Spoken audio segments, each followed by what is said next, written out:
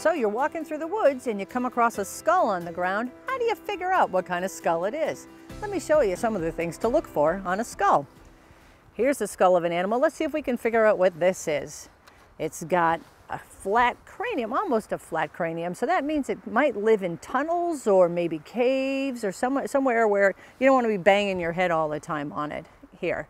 You can also look to see where the eyes are. Here, these eyes are called orbits. It comes from the, the Greek word orbis, which makes sense because your eyes are round, and we've got the round here. If it, the eyes are in front, that means I hunt. Eyes on the side, like this little guy right here, means I hide. All right? So it looks like these guys are in front. So this might be this might be a hunter. Another name for a hunter is predator. So it looks like we might have a predator here. Another way to tell from the animal is what's going on with the nose or the nasal area. Comes from the Latin word nasus, makes sense, the, the nasal area here, right in here. If it's really close to the teeth, like on this animal here, very close, you're looking at a carnivore, which is a predator. If it's pretty far apart or if it's farther away from the, the teeth, then this is prey here. The nasus is further away. Okay, so looks like this guy might be another predator because the nose is really close to the, the teeth there. So we've got predator there. Hmm, let's kind of take a look at the dentition, which means teeth. Comes from the word, the French word dente. How it got to teeth, I don't know from there, but this is the dentition. And you can tell many things about an animal from the dentition. Um, you got the front, here's are these incisors here we have here that help us eat things like say we can use our, we use our teeth, our incisors to eat a piece of celery. We've got some canines here. The canines, some people call them vampire teeth, but these are canines. What they do is they help to pierce and to hold and to grip. And things like beef jerky when you try to eat beef jerky, you're using your, your canines there. And then, hmm, so he's got some, this one's got some pretty strong canines here. And then we've got, so we've got a decent set of molars here, which have some high points here, but there's also some in the back for crushing. So if you were to eat, say, some nuts or something, you're using those teeth, your molars, to crush and to grind, which is what those teeth are doing here in the front.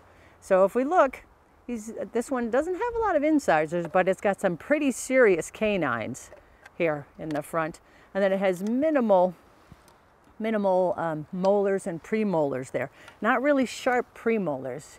When you have a skull with a sharp premolar, what that means is that's definitely a carnivore. We've got this one here with very sharp premolars right there. That's used, that, that used, that's definitely a shredder and a terror right there. So those are animals that eat other animals, again, prey. So, I mean, I'm sorry, predator. So this looks like, hmm, if we were to look at this, taking a look at the skulls and the eyes in front, it's a predator. At the nose close to the teeth, that makes it, uh, that's a clue for a predator. It's got some pretty big canines for holding. It might be, that also can be a predator and it has it has has all of the three teeth, the four types of teeth that we have. So it makes it a predator, but it also makes it an omnivore. This is a black bear, and it's a typical black bear. That black bears can weigh up to 150 to 200 pounds. They have a tremendous sense of smell. They can smell over 100 times better than we can. Their eyesight is pretty good, and they're actually one of the, the mammals, other than us, who can actually see color. And they have a very good memory. They have a great brain, and they're very easily, um, they're very easily taught. So things like leaving your food out, or if you're or feeding them, they're going to remember that. So never feed, never feed any wildlife, but especially not bears, because they'll remember that. Let's see if we can figure out what this is. Let's take a look. Hmm, the eyes are on the side. So that means it's some kind of prey. It's got a really long nose, that nasal cavity we were talking about. So that's an herbivore, having those teeth there. And that little space, there's not a lot of teeth between the front area and the back teeth. So that shows again, that's, that's an herbivore here. Doesn't have any canines, so that means it's probably not a predator. My guess is that this is some kind of prey animal and looking at the area here where the antlers used to go, this is a moose skull. All right, we're coming across the woods. We're come, walking through the woods and we come across this skull. How do you, let's try, see if we can identify what this one is. Eyes on the side mean I hide, which means it's prey. It has these incisors here in the front, so it's a snipper, a nipper, a, a gnawer, so it gnaws its food. There's no teeth between the incisors and the molars, and it has no canines. So that, that means it's not a predator, so this must be some kind of prey. And with this flat skull and the way the eyes are close to the top of the skull, this is a beaver. So we find this skull in the woods. How do we identify what this is? Let's take a look again. Eyes in front mean I hunt. So this, this is looking like it might be some kind of predator. Take a look at the nose, the nasal cavity. Is it closer to the front teeth there? It looks like it's very close to the front teeth and it has those canines, those very sharp canines for piercing and holding. And this animal has a unique feature to its canines. It actually has little channels that move down so the blood, when it's eating its live prey, so the blood doesn't choke it. It actually moves down the teeth and moves away from the nose so the animal can continue to eat. Has some incisors, those canines, very sharp, very sharp um, premolars and molars.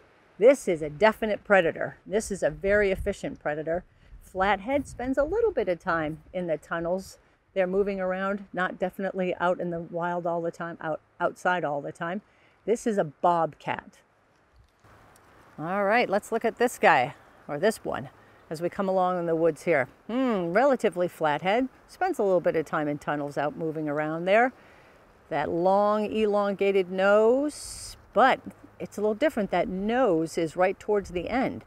Even though it has a big long snout area, that nose is right towards the end of the skull. Near those incisors, pretty big canines. And if you're looking at some of those premolars and those molars, very sharp. This is another predator because it has those eyes in the front, meaning I hunt. And taking a look at the way that the, the size of this one and the way it has these special teeth called carnassial teeth, which are meant to shred and to tear. They look like two pyramids and they fit within sight of each other. So that helps it to eat its live prey. So this is another predator and this is the red fox. Walking along, how what, what, what do you think this animal could be? Let's take a look. The eyes are on the side that means I hide.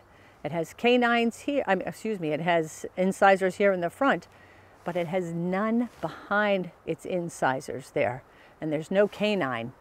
So we're looking at possibly prey here, and it has some very sharp grinding teeth in the back. So this one looks like it eats a lot of vegetation there. So this one looks like it's prey, and this one is a rabbit. So if you see a skull in the woods, now you know how to identify what it could possibly be.